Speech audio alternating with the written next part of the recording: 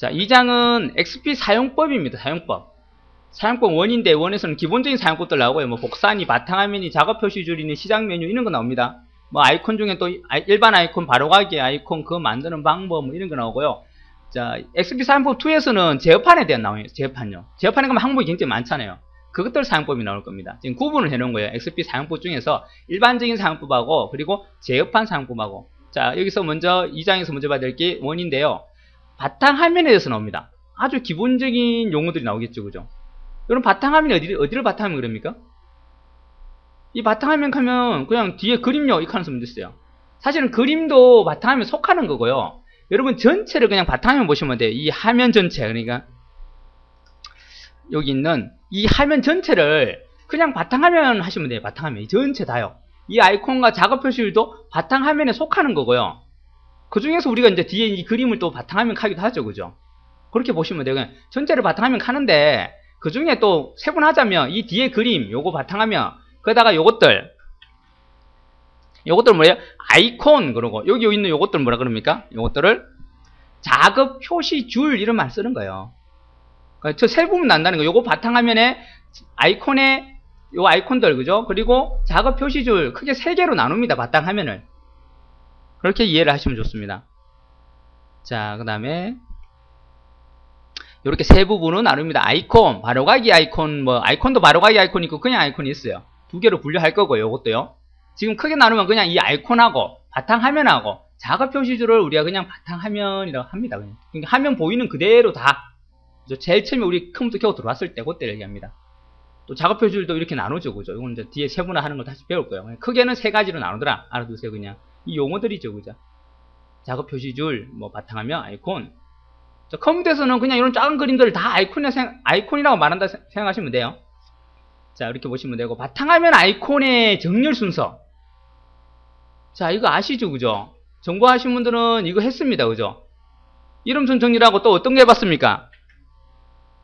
여기에 가면 요거 보셨죠 그죠 요거 화면 표시 화면에 아이콘을 표시할래 안 할래 파타면 아이콘이 싹 없어졌어요 그러면 고장인 줄 알고 S 부릅니다 아니죠 그죠 이거 먼저 점검해 봐야 돼요 요거 체크를 해제했느냐 안 했냐 먼저 해봐야 됩니다 여기 체크를 해제해버리면 한 번 더 클리어해버리면 바탕화면 아이콘이 싹 없어져요 표시하지 말라 했기 때문에 여러분 또 모든 프로그램의 아이콘을 빼더라도 안 보입니다 아예 아이콘 자체가 바탕화면에 안 나타나게 해놨어요 고장이 아니고 누군가가 만져서 이걸 잘못 만졌을 수 있다는 거예요.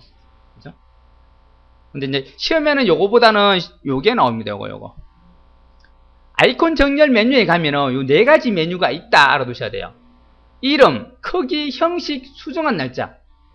이름, 크기, 형식, 수정한 날짜입니다. 자, 다시 가볼게요, 제가요.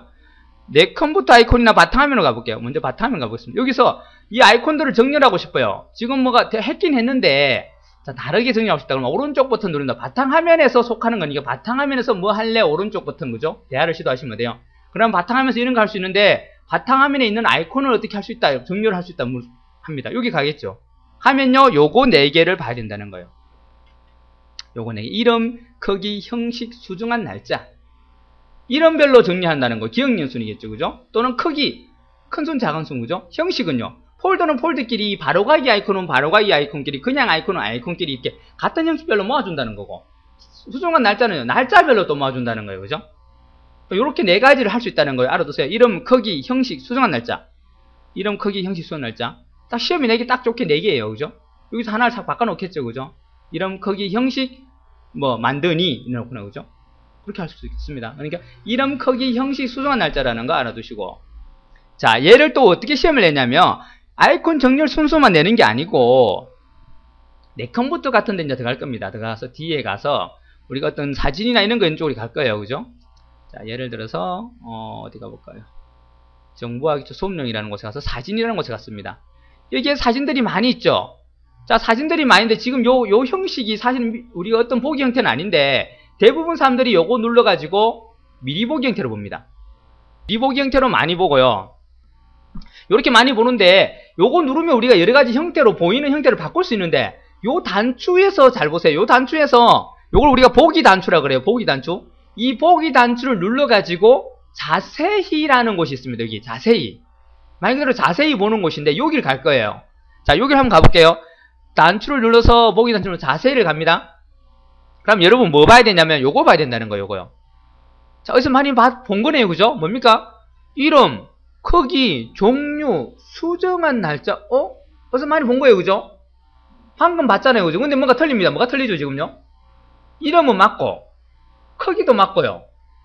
수정한 날짜도 맞는데 종류가 명칭이 틀려졌습니다. 뭐라고 틀려졌죠? 아까는 형식이었죠. 시험에 내기 딱 좋습니다. 헷갈려요, 그죠? 아주 쉬운 문제인데도 이게 가만히 있어봐야 됩니다, 그죠? 그러니까 형식이 종류가 요거만 틀리지 사실은 같은 말이에요. 형식이나 종류나 같은 말이죠, 그죠? 그 말을 이렇게 살짝 바꿔나가지고 이걸 쉬운 문제를 내요, 또 희한하게. 자, 다시 한번 보여- 보여드리면, 자, 여기서 또 오른쪽부터 누르면 되겠죠? 요것들을 정렬할 거다. 어떻게 아이콘 정렬이라고 또 있겠죠, 여기에. 자, 여기에 있네요, 그죠?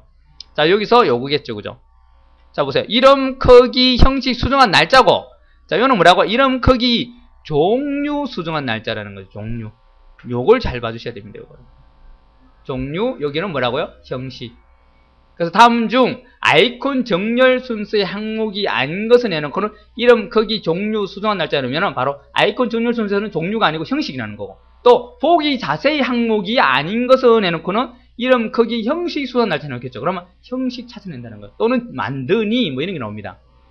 또는 수정한 날짜가 아니고 뭐 만든 날짜 이렇게 넣는 그거 다 틀린 거죠. 그죠? 그런 거 찾아내는 문제가 나와요. 잘 나오는 문제또 하나 그게. 그 희한하게 이런 걸 잘 냅니다. 시험 문제에. 그래서 이름, 크기, 종류, 이름, 크기, 형식, 수정한 날짜. 이렇게 알아두셔야 돼요. 자, 여기서 나중에 또 한 번 더 설명드릴 거예요. 자, 바탕화면 아이콘 정렬은 요 네 가지가 있는데, 자, 네 컴퓨터의 보기 단추에서 자세히를 가게 되면 파일 이름, 크기, 종류로 나오더라. 형식이 아니고 종류라는 거죠. 그죠? 종류. 요게 형식이 아니고 뭐예요? 이렇게 종류로 나오더라는 거.